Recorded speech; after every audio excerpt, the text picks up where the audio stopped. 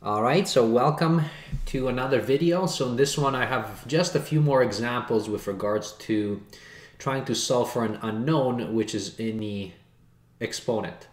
So I have three examples here, and you'll notice that in all of them, I'm gonna just kind of uh, blow this up here. So you notice that once you substitute the givens in all of them, okay, it uh, you will find that we're trying to solve for unknown, okay? In all these three cases, you'll see that we're going to need to use log in order to do so. So let's do it, all right? Okay, so example one. I'm going to substitute the numbers in there for us.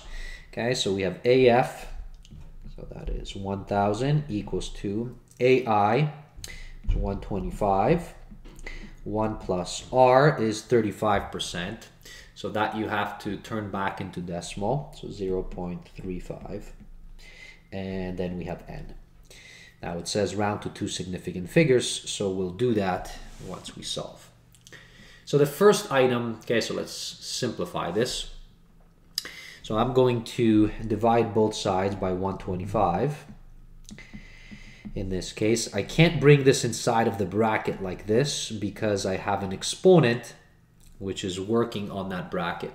You can only bring numbers inside if there is no exponent working on that bracket. So that's why I'm dividing both sides by 125. And here it's going to give me 1.35 to the n. This is 1000 divided by 125. Now, once you have this, then all you have to do is you have to use log in order to solve for your n. Now, if you want an introduction to log and some maybe some other examples and the reason why we use log to solve for an exponent, I'm going to put a link up above for you. Okay, so you can do that. Now, when we are at this particular point, in order to solve for this unknown n, we're going to have n equals 2. So what you do is you take log of your answer, whatever your answer here is. So 1,000 divided by 125. I don't do the division. I do not turn them into decimals so that I don't have to carry the decimals. Right? So I just leave it as a fraction and you can do that. It's a little bit easier for you. Then we're going to be dividing by the log of the base. And here is your base, which is 1.35. Now, once we have this, so I can take out the calculator, so here's log. So 1,000 divided by 125, that's in my numerator, and then divided by log of 1.35 equals. So now I have n equals 2. Now, it said that we're supposed to round this to two significant figures. It's 6.929. So my answer is going to be rounded 6.9, so approximately because I'm rounding. And that's because there's a 2 behind the 9, so it's not going to raise the 9 up. All right, so this would have been the answer for us to two significant figures. Now, if you want a review on significant figures, I'll put up a link up above to a video which will provide that for you. All right, so this was example one. Let's take a look at example number two. Maybe let me copy this example here down. Actually, let me erase this. It's dots. So, and let's take this one, copy. I'm gonna bring it down, paste. All right, so that's my second example. Switch color. So I have 4, 1 plus x is 2, so 2, this is cubed, equals y, sorry, y is 3, so 3n plus 4. So this is what I have. So I have to simplify this before I do any kind of solving for this n.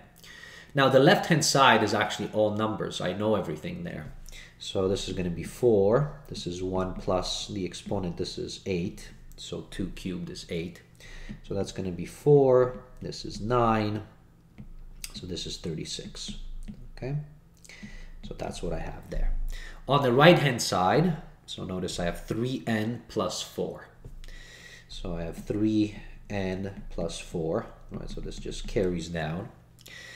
So I'm going to bring the 4 over to the opposite side because I just want the base with the exponent. So that's going to be 36 minus 4 equals to 3n. So that's 32 equals to 3n. Now using log, so once you get to this point where it's only a base to the exponent, so I have n equals, so log of the answer, which is 32, divided by the log of 3. We're basically taking log of both sides here. And now, so my answer will be log 32 divided by log of 3. So n equals, I know that I have to round this, round n to the 10th. All right, so to the 10th, so that's 3.2. All right, so that is example number two, once you substitute those in. Let's take a look, example number three. This one looks complicated, maybe it won't be. Copy, let's bring it down, paste, so I have that, make it bigger. So let's substitute everything in. So on the left hand side, so what do I have? I have 10, 1 plus x is 3 there, see that, divided by um, 1 plus r is 0 0.15 to the n equals 1 plus a. a is 1, so this is that. Okay, so now that we have this, I have my n in the denominator. I don't like that, but um, let's first simplify everything. So I have, so this is 10. In the brackets, it's 1 plus 3. So that's 4. So 10 times 4, so this is 40, divided by, this is 1.15n, right, when I add those in the brackets. So 1 plus 0 0.15. And then on the right hand side, well, this is not bad. So it's 1 plus 1, which is 2, and then 2 squared. So 2 squared, this is 2 squared, which is 4. All right, so that's what I have there. Now, I have this thing in the denominator, so I don't really like it like that. Okay, so I'm to bring it back into the um, numerator, so up above. So I can multiply both sides. I mean, I can let me just do that just so that you can see it. So if I do this, it will obviously cancel from here, but then it will appear right here. So that's what I have there. And with that, so I have 4 times, now I don't want to have this 4, so I can divide both sides. It's going to be 10 equals to 1.15 n. And now if you take log of both sides, or basically solving for n, so you're going to get n equals 2, whatever your answer is. That's actually going to be 1, because log of 10 is 1. And then divided by log of 1.15. So let's do that. So log of 10 divided by log of 1.15 equals so n equals now three significant figures.